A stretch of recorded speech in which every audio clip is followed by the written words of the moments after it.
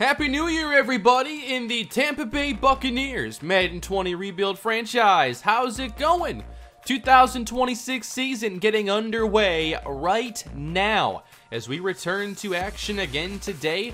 And I have taken some of your feedback, and I agree, we should be playing Tyrone Bradley here at center, getting him as much development as a rookie as possible, especially since I have tuned the XP sliders, and it's going to be a little bit tougher to get upgrades for certain players. But he is higher rated than Frederick Hughes. We're going to play him here at center. And defensively, we're also going to be playing Hudson Lumen at linebacker and Malik Lennon at strong safety, where he is currently a 78 overall. Those were the two primary points you wanted to make in the comments, it looked like. I like checking the comments, though, to see what you have to say. A lot of times I'll overlook things or, you know, just spend two hours making my own decisions with nobody's input, and after a while, maybe I, I could use a little bit. I did think about, like, what about playing Zach Lambert at outside linebacker in our scheme, just like we had Javante Whitaker, but Lambert really is not a cover player. From here, you can't really tell, but his uh, coverage ratings are like under 50. So he's a pure pass rusher Hopefully he gets a little playing time. It's a little bit tough in this game to get that like 3 and 4 pass rusher rotation, which is one of my main complaints probably from the simulating. You can do it if you want different players starting and then different players in the rush spots, but that's really about it. Anyway, we're coming off our Super Bowl winning campaign. I want to make it to the Super Bowl again. Why not? I think this team is set up for another run. We're not going to watch week one today, though. We're going to figure out which of these games early on is the most intriguing after a couple sims. Excuse me? 189 yards? 7 first downs? This is the Minnesota Vikings on Monday night. 7 first downs, least since 1971, I believe. 189 yards, like 20 more than the Vikings had, 10 points. This is too much, Madden. You gotta stop this. Well, how did this happen? Jacoby Brissett did well, and this is a team that we beat decisively three times a year ago. Tyrus Sparks, one, one, six sacks. Hmm. I've been pondering in my undrafted quarterback little series there about if quarterback ratings have an impact on sacks taken. This outcome also does not make sense. I don't get it. Run defense, very poor in week one. Alvin Kamara, 111, two touchdowns. Hopefully we can uh, forget this one quick. This was awful. Max Heenan allowed three sacks. Uh-oh. Gilbert's back. Three sacks for him. I thought maybe it would have been... Um, now I forget his name. I'll scroll down and find it, I'm sure. Unless he's not on the team anymore. Tremaine Sullivan, who hardly played. Well, let's upgrade our new center and work on maybe making him a scheme fit. It probably will not happen, but it's his lower rating. Run block, the finesse ratings, and awareness. Not bad. After the Demarcus Lodge ascent, as I've been calling it, I guess, I don't want to overlook what you can do with some of these low-rated receivers. We have Dwayne McClain here, I feel like I don't want to go deep threat, even though it is the scheme fit. I'd rather go slot, which is more realistic for him getting a role on the offense. Good to see catching move up along with the short route running. So here are his ratings now. Chris Godwin. Let's go physical. I don't want to see stuff like catching traffic get low or release. Ability slot, huh? All right. We have in, out, elite, and Post Specialist. I love post routes. Madden does not have anywhere near enough of them. Run support for Jerome Page. 87 overall. And the tackle boost. One last thing I want to do, I'm going to take training off of auto only because I want to take care of the focus players going forward and make sure I have the three selected that I want. I'm not going to do training though, one of the reasons why is because the rating spread this year from bronze to gold is pretty flat. It's like a 100 XP difference, and I I really just don't want to do training. It's not interesting enough, and the rewards are kind of bad. We woke up for game two, 35-7. That is more like it. But Carolina might not be a great team this year. Logan Nichols had two interceptions, sacked three times. The pass game for the second week in a row did not do a lot. That's a slow start for Tyrus Sparks. The running game, though, was able to get something going. I have no clue why Sparks ran five times. That's something that usually doesn't happen. 17 carries for Askew, 10 for Robertson, 7 for Copeland. What a rushing day for the team, I guess. Michael Alexander got his numbers. Chris Godwin did all right. And a touchdown for Adonis Askew. Love seeing that. Heenan's now allowed four sacks in the first two games. That's not great. Leonard Merritt, Robert Cush, Kyle Caver get sacks. Malik Lennon and Jamichael Beekman with the picks. By the way, the focus players were pretty much all good. I just had to change one. I do want to upgrade Lennon and Bradley, our two new starters, but I'm also upgrading Denzel Denard, as he might need to uh, get a little boost here to become that starting caliber dominant receiver we're upgrading Zach Lambert, again 69 overall with the Speed Rusher upgrade. Very nice as we get finesse moves. We'll check on contracts in a little bit. Let's go scouting right now. Let's see what we have for a draft class this season. We have a quarterback at the very top, quarterback at number five. All right. I'm not sure what to expect needs to be. Wide receiver, though, it doesn't appear strong at the top, which is kind of a rarity for Madden. I feel like I haven't had too many draft classes that weren't good receiver classes. This one, at the least, still ends up having good mid-round value, but I don't know. Nobody at the top yet that I found very interesting. We moved to 2 and 1 as the offense again does not do a lot, but we beat the Pittsburgh Steelers. I was really interested in them drafting Elijah Welch because Josh Rosen is like an 81 overall, 29 years old. They still drafted a potential replacement in the first round, and that just intrigued me because I think it kind of made sense.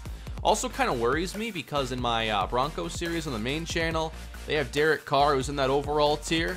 And um, if they have a chance to draft Brandon Warren in this upcoming draft in that series, I'm going to be uh, very upset. But Rosen was picked off twice. Had a much better game on Christmas Day in my uh, Broncos series.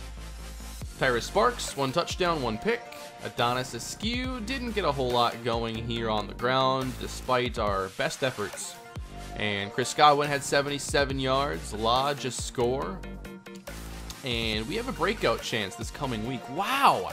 Heenan, you're playing terrible! You've allowed six sacks! Man, three sacks for TJ Watt. Yeah, he's elite. Very good player. But you're supposed to be as well. So that's strange. Let's check on this uh, upgrade opportunity now. Wasn't quite sure who it was. And the breakout chance is for Denzel Denard. Oh boy. We're watching this one, everybody. Jamichael Beekman was player of the week. He had the interception. Logan Nichols, holy cow. Five passing touchdowns, 293 yards. Not bad for Carolina. But now we have Chicago, a team I feel we don't see a whole lot in this series. Before we get to checking out Chicago, want to see this corner class. Someone's got to show me where I can go in the first round. Okay, maybe Sylvester Mumphrey if we finish, you know, horrible. He's an early first round talent. Can you help me somewhere else? Trey Chancellor. Might be solid. At any rate, I'm not sure I have to draft the day one starter. Maybe a day two or three, though. If I can't figure that spot out, though, one place I could look to in this area of the game Maybe I don't need to give extra experience here to Lennon. Maybe he, with a hidden development, already being high rated, maybe I'm better off doing something else right now. Let's upgrade Antonio Tandy. He might be able to become a starter, but he might need a little extra help too because he's already two years in and still not a starter. Tyrone Bradley again? Again already. I guess with the uh, focus player and all that stuff, it's moving by pretty quickly here. Bradley gets a nice awareness, pass block, and run block boost. I was just curious about Elijah Welch, by the way. He should be getting focus training, and he is. So he gets that little development here, but Rosen's an 81. Madden probably isn't fine-tuned enough to where like Welch becomes a starter late in the year or in year two. I don't think he closes that overall gap fast enough. But if Rosen declines to a 79, Welch moves up a few ratings, maybe. One thing I've noticed though, and maybe there's a story now I can point to as an example, but the CPU does bench certain players based on performance, but it's normally at running back. And I've seen this now for the last few years pop up in the stories. I don't see one right now, but if I see it again, I'll definitely point it out. Athleticism in, is in Sylvester Mumphrey's genes. The Stanford cornerback is the son of a legendary Olympic sprinter. Alright, I know who I want to trade up for. I should check on those stories a lot more often. I do skip over them a lot. Kind of because the draft, like, isn't super challenging as much as I may make it look at times. But, um, I don't know. I feel like I missed something with Jalen Slate last year, and I'd like to know the Heisman winners and everything else. But we're getting into week four, and we're facing the Chicago Bears. They have most of their top talent on the defensive side of the football. Still have Tarik Cohen and Anthony Miller on offense. The quarterback is a 32-year-old Mitchell Trubisky. I can't believe that with his ratings declining, they are still sticking with him. But get ready to watch Trubisky today. Joe Henson at tailback. Anthony Miller, Denzel Smith, a second year, fourth year player, my bad. Was he on the uh, free agent market this year? I can't remember. There was a superstar receiver. I believe that was. The ratings are interesting basically exactly how I rated uh, Lamar Williams when I put him into the Broncos franchise on the main channel. All right, so a pretty defensive football team here. Offense just has to have a decent day, I feel, and we've been waiting on one all season long. Let's not let Antoine McDuffie have his big rookie breakout against us, though. We're breaking out the throwbacks today, too. I know how much you all like seeing those. You can hardly tell the Bears uniforms are throwbacks. They kind of just look like practice uniforms. Let's take a look at what the Bucs are wearing today. Yes! For some reason, I see these uniforms, and the first thing I think of is Josh Freeman. I don't know why him and not like John Lynch or another player from like the Super Bowl team. Nope, I think of Josh Freeman. Chicago starts offensively with Mitchell Trubisky under center. And he's going to start this with a little pump fake and dump it off with the pressure, missing Cohen. Tampa trying to move to 3 and 1 on the season as Chicago again heads to the pass and DeVoe with the pressure and Trubisky's intercepted. Jerome Page.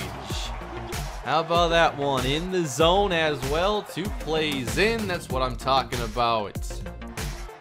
All right, offense. Right now. Right now is a good time to turn it around in the air. And we come out wanting to run. It's a play fake, and Sparks delivers. Hmm. I wonder if I have my playbook for this. I'm thinking I don't. That could make for an interesting setup here. Deep drop Sparks. He'll fire one downfield. Godwin around the 15 hauls it in. Yeah, I forgot to switch to my playbook here for this one. My bad. Sparks outside the pocket and drops it off to Dawson Knox. Running for the first time and down to the one. That's Adonis Askew. Remember, breakout chance for Denzel Denard, and not having my playbook probably hurts because you can get a lot of big plays out of what I have built. Toss left. And all the way outside is Lawrence Robertson. The Buccaneers strike first and early capitalizing off the turnover. Fun start here for the home fans, and we'll focus primarily on the offense with them not playing all that well, and the opportunity we have for Denzel Denard. The Bears, though, using up a lot of plays on this drive, getting down the field, and marching inside the 10, where they score a touchdown. To the air on first and 10. Here's Sparks. Uh-oh, a lot of trouble, and he's not able to escape the pressure from Bragg. Denard is in the game when we go to two receiver sets. He wears number 81. Play fake on second down, and Sparks delivers one to Chris Godwin. There we go, fix that issue with the sack. We keep things in the air, though. Sparks. There's Godwin again. He broke a tackle to the 10 5 touchdown. 58 yards for Chris Godwin. What a start. We keep going to that skinny post play, by the way. That's like the third or fourth time we've already called it. That's right, he got post specialist. I highly doubt that's impacting the play calling, but if it is, that's a good touch. Nice start for the offense, though. Good to see that pass game being successful again. Chicago, meanwhile, they were running the ball quite well, but then they fail. Rob Reisner is their punter, by the way. How about that? Let's sim a little bit of the offense now. Hopefully Denard catches something. And uh, that's Godwin. That's Godwin again. Chris Godwin trying to set records all day long. He caught the ball four times in a row. And that was before this sequence where he now has five catches on the drive. Okay. I'm okay if he, you know, sets a record or something. Jerome Page knocks away a pass. That's not ideal. Chicago on the move. Going backwards, though. And Jerome Page again. Where is Denzel Denard? Bottom of the screen. And we are going to run the football. Here's Askew getting outside. Up the middle, Askew with a nice run to keep the drive moving along. Well, now we take Denard off the field. I don't think it's happening, everybody. Handoff, and not much. Bunch formation on third down. A good time to look for Denzel Denard, I would say. Here's Sparks. He'll fire downfield, looking long, and caught! Denzel Denard, his first of the day. 31 yards for Denard. I'm glad we got something here for him in the first half. Sparks first and 10. This one is jarred loose. Wow, Roquan Smith. Best day passing already, though, and we're not even halfway through. Second down here for Sparks. Now down the left side and caught again by Chris Godwin. What a day. I don't even want to see his yard total. Yes, don't show me. I want to see a surprise at the end. Never mind. Nine catches, 178 in the first half. Oh, what? No one blocked McDuffie. Denard, bottom of the screen. Maybe it's his matchup. He's lined up against Byron Jones. Third down to the end zone. One-handed. It counts. Touchdown, O.J. Howard. Love it. Buccaneers up three scores before half. I now have it so Denard goes to the slot when we go three wide. Just to get him away from Byron Jones in those situations. But I wonder how much we pass the ball with this 17-point lead. For now, we're running, and Askew picks up two. Third down for Sparks. Denard slot left. Now Lodge is matched up with Byron Jones. Here's Sparks. A lot of time to throw it. It's complete. O.J. Howard around the 40. Play fake now for Sparks, getting outside, firing deep with it! Knocked away, trying to get to McDonald. Are we calling the same thing here? There's a strike. Chris Godwin, now over 200 receiving yards. It's one of the biggest receiving outputs of the entire series. 10 catches, 201 yards. More play action from this three tight end set. Watch out. Bragg again. We can't get out of this formation. Second down and 20. Another one. We have like four plays in this playbook. Sparks sacked again by Bragg three times. Now we gotta go get 29 yards, and part of me thinks we can do it. Sparks, though, throws short. Alright, that was a weird drive. I'll do some simming now with the offense. Not sure it will help much. O.J. Howard made a catch. Another sack. That's five. Third and 11. Intercepted Antoine McDuffie. Well, we haven't had a ton of these breakout chances work out. Doesn't appear this one will. Chicago has the football now. They're trying to get back in this game. And Cohen breaking tackles and trying to get to the edge. Gets a yard. New Orleans is 3-0. They might be a more formidable foe this season as Cohen is stopped again by Kyle Caver. Denver 3-0. They made some big moves in the offseason to help their offensive line. Play fake on third down. Here's Trubisky on target. First down, Bears. More running room on this play. It's a nice carry for Cohen. Brought down by Malik Lennon, number 44. I did change his number. Felt like changing it up from 46. Second down. Now they're going to look for the big play. Here's Trubisky to the end zone. It's overthrown and nearly picked.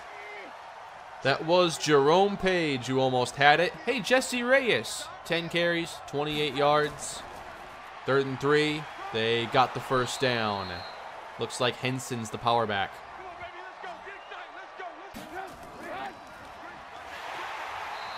Sylvester Seymour, everybody. He's making an impact as well. Maybe final play of the quarter and another tackle for loss. Aggressive Jerome Page. Cohen's motioning to the outside. What do they have called here on third and 13? Trubisky downfield, and this is broken up by Jerome Page. He's literally everywhere.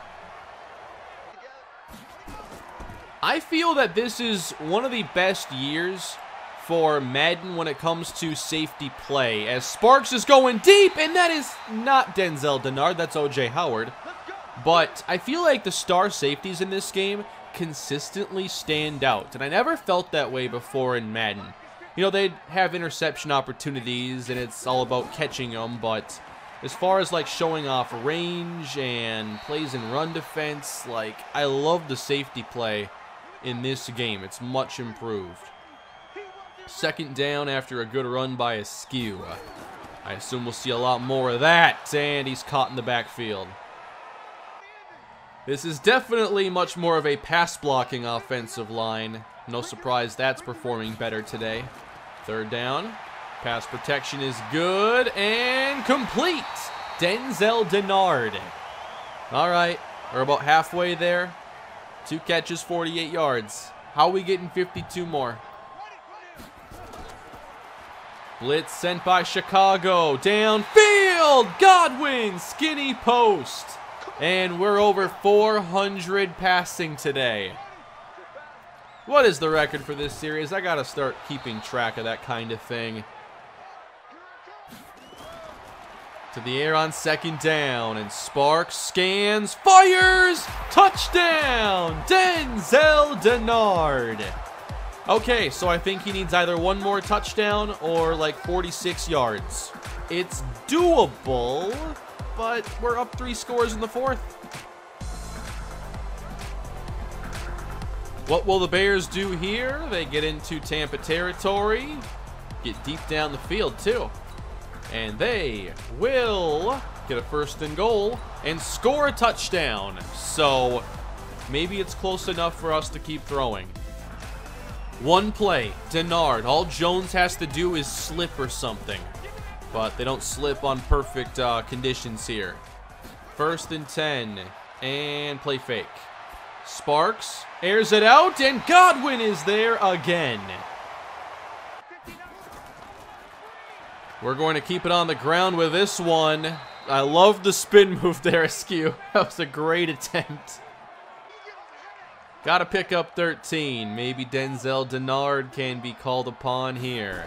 He's in the slot. Here's Sparks for Godwin. Fourth down. Well, at least Chris Godwin is out here trying to set records. I'll do some research while we watch this Bears possession, and Cohen is motioning all the way out.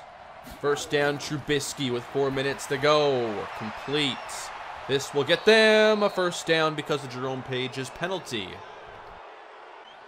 The record is held in real life by Vincent Jackson for receiving yards in a single game in Tampa Bay Buccaneer history. That was set against New Orleans, 216 yards, October 21st, 2012. I'm pretty sure Godwin's over that now. And, hey, we got some pressure there. Oh, they set up a screen. That's why. Third down, Trubisky. He fires complete. Wide open.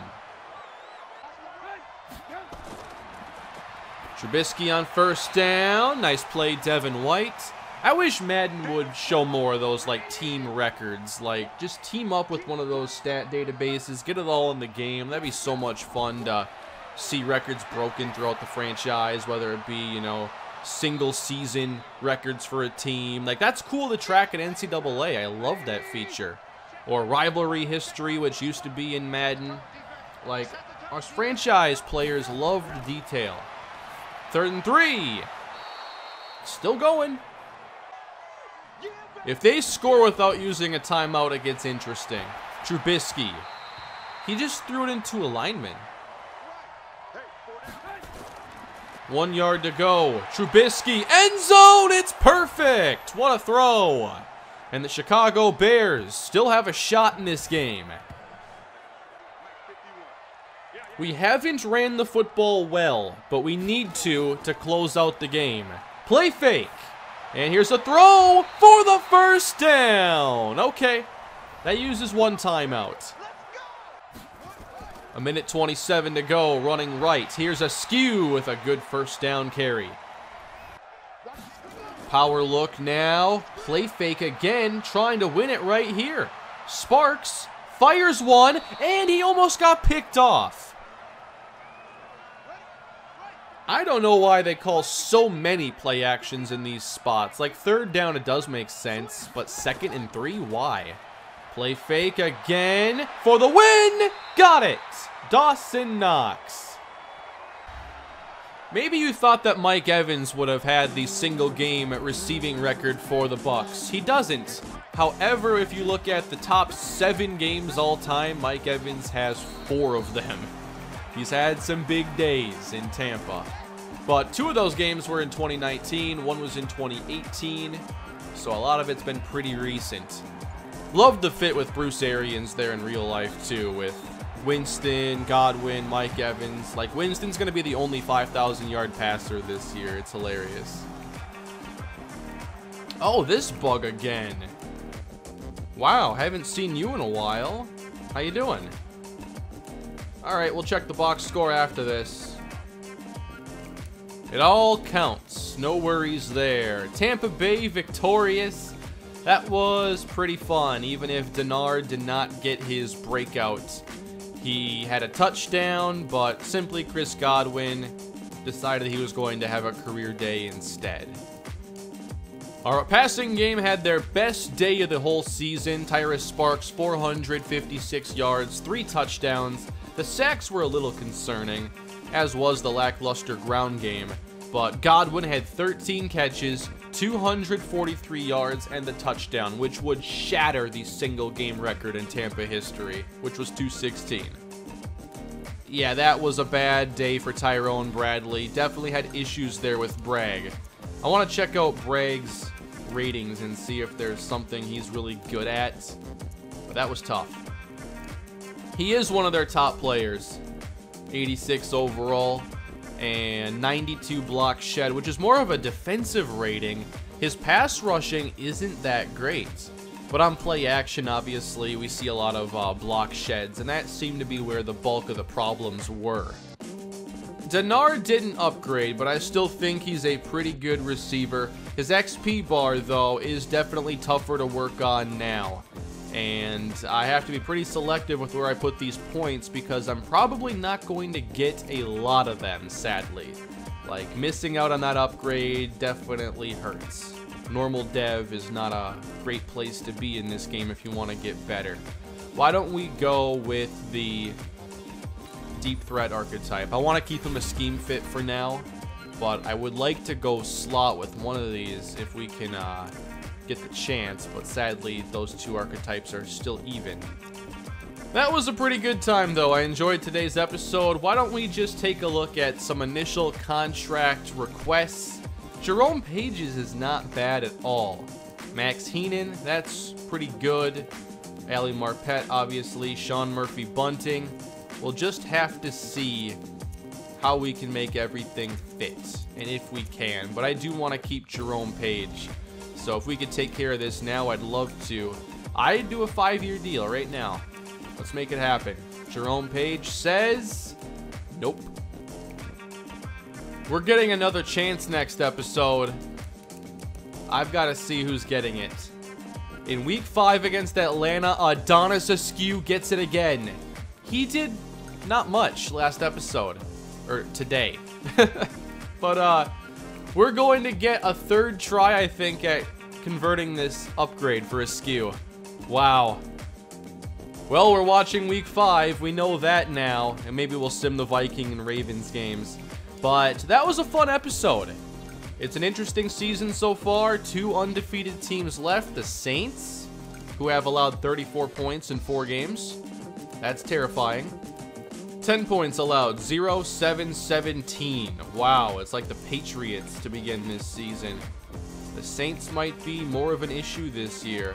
I'm not sure if they made like a huge change. They're running the ball well. They did against us. Kamara did here. I'd be shocked if he's not currently leading the league in rushing. Oh, he is. 453 yards in the first four games. If we go to passing, Sam Darnold currently has six touchdowns and is doing pretty well.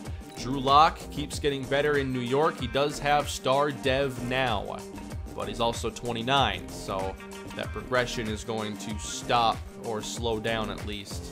Receiving, Chris Godwin is your leader. Ooh, Hakeem Butler. You have my attention. He was my favorite receiver in this last real-life draft class.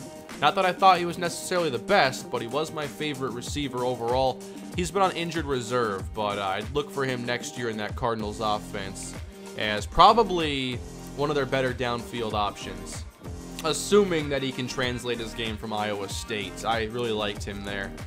But that is going to do it for this episode, everybody. Thank you all for watching.